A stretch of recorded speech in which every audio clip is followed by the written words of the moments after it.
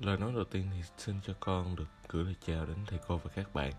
Con là Lê Hải Anh, đến từ lớp 10B2 thuộc trường Trung học cơ sở Trung học phổ thông Vinh School Central Park. Với cuộc thi giới thiệu sách trực tuyến, chủ đề là sách và khát vọng cống hiến năm 2022 này, thì em sẽ mang đến cuộc thi cuốn sách tên là You Not Have My Hate. Trước tiên thì cho con xin được phép tự giới thiệu tên của con. Con là Hải Anh. Như lời giới thiệu đầu thì con đang theo học tại lớp 10B2 thuộc hệ thống trường Vinh School Lý do con tham gia cuộc thi năm nay là vì qua năm lớp 9, các tác phẩm như Làng lẽ Sapa hay những ngôi sao xa xôi đã đề cập tới khát vọng cống hiến. ấy thế mà những thứ ấy dường như đã mất đi trong cuộc sống thế kỷ 21 ngày nay. Ngoài ra con cũng muốn là nâng cao được cái tầm quan trọng của việc đọc sách trong học đường ngày nay. Cuốn sách mà con muốn giới thiệu cho quý thầy cô và các bạn ngày hôm nay chính là cuốn You Will Not Have My Hate hay tạm dịch là bạn sẽ không có được lòng căm thù của tôi của tác giả Anton Leris sẽ được viết dưới dạng tiểu sử kim tự truyện và được trình theo dạng là nhật ký với nội dung chính là sự kiện thật về vợ của ông. Tiếp theo chúng ta sẽ nói thêm một tí về tác giả thì ông là cánh nhà báo người Pháp. Ông sinh vào ngày 21 tháng 5 năm 1981, đến nay ông được tròn 41 tuổi. Ông đã viết ra hai cuốn sách là Life After vào năm 2021 và You Not Have My Hate vào 2016 về cốt truyện thì vào một hôm thứ bảy trong khi ông đang trông con trong phòng khách của mình thì các báo đài đưa tin về một vụ nổ súng ở nhà hát vào ngày 13 tháng 10 năm 2015 tại chính thành phố mà ông đang sinh sống, Paris, Pháp. Thật không may thì lúc đó vợ ông, Helen, cũng đang đi coi kịch tại nhà hát đó. Những ngày tiếp theo của ông có lẽ sẽ giống như bất kỳ ai trong chúng ta nếu chúng ta ở tình huống đó. Ông đã cố gắng liên lạc vợ mình bằng cách này hay cách khác. Mặc dù súng ở xung quanh đang nổ liên hồi, nhưng có vẻ chính tính mạng của ông không quan trọng bằng cảm giác khi ông được gặp lại vợ của mình. Thế rồi chuyện gì đến cũng phải đến.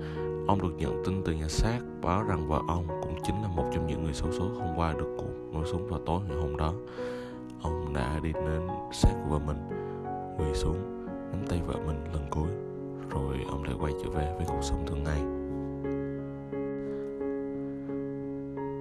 Khi quay về thì ông đã có một cuộc đấu tranh tư tưởng là làm sao để chính bản thân ông tiếp tục sống mà không có vợ mình? Hay liệu mình phải đưa tình cho người đứa con duy nhất của mình như thế nào?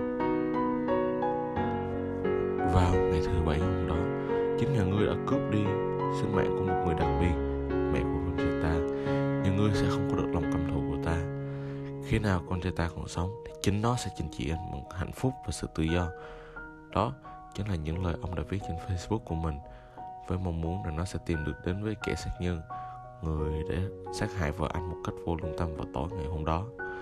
Với sự giúp đỡ của cộng đồng mạng thì nó đã được lan truyền một cách nhanh chóng và rộng rãi. Nhưng sau cùng thì chuyện cũng đã được kết thúc vào ngày ông đưa tiễn vợ ông về nơi an nghỉ cuối cùng. Qua trên ta có thể rút được bài học là hãy trân trọng những gì mình đang có. Để rồi từ đó đóng góp những cống hiến khi không có thể để cuộc sống trở nên ý nghĩa hơn. Một trong những điển hiện sống hiện nay chính là chàng trai dễ thương này đây. Ta hãy cùng xem một trong những clip thú vị của anh ta nhé. Hello, my name is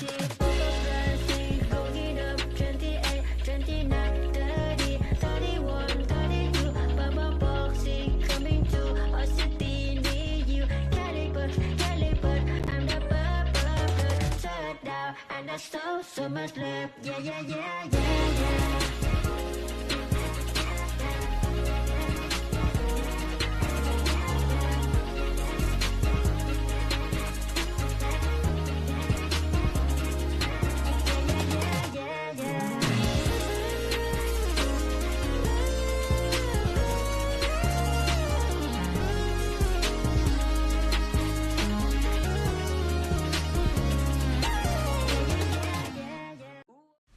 Có lẽ chúng ta đã không quá xa lạ với chàng trai đếm số, Soi Tiết.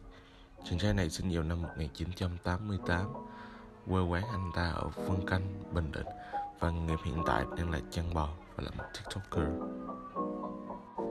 Mặc dù anh ta mang lại được tiếng cười cho cái cư dân mạng sau những làm việc mệt mỏi, thế nhưng anh cũng đã phải trải qua nhiều mất mát trong cuộc sống như anh đã mất mẹ từ năm anh 6 tuổi anh đã phải vào trại trẻ mồ côi, bị chuẩn đoán với lại viêm phổi mãn tính.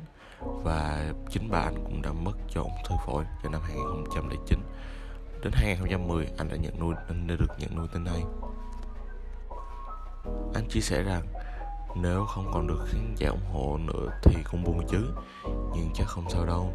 Lúc đó, tôi vẫn đi chăn bò và tận hưởng những niềm vui xung quanh, xem những gì được trải qua trong thời gian qua là một giấc mơ đẹp vậy thôi và sau khi anh đã bán sống bán chết với hai lần viêm phổi, anh đã chia sẻ rằng sau khi tỉnh lại, tôi tự dặn mình, chính bản thân mình mỗi ngày trôi qua phải sống thật vui. Để rồi, ta sẽ thấy được khát vọng cống hiến của anh ta qua những việc anh ta làm, mặc dù nó chả cao siêu tí nào đâu. Thế nhưng, nó vẫn mang lại ý nghĩa cho cuộc sống này. Tiếp theo là lý do để em chọn sách và liên hệ bản thân của bản thân mình thì theo em, chúng ta nhiều khi lại có thói quen tiết tiền hay thường nói không với những thứ mà chúng ta còn sợ.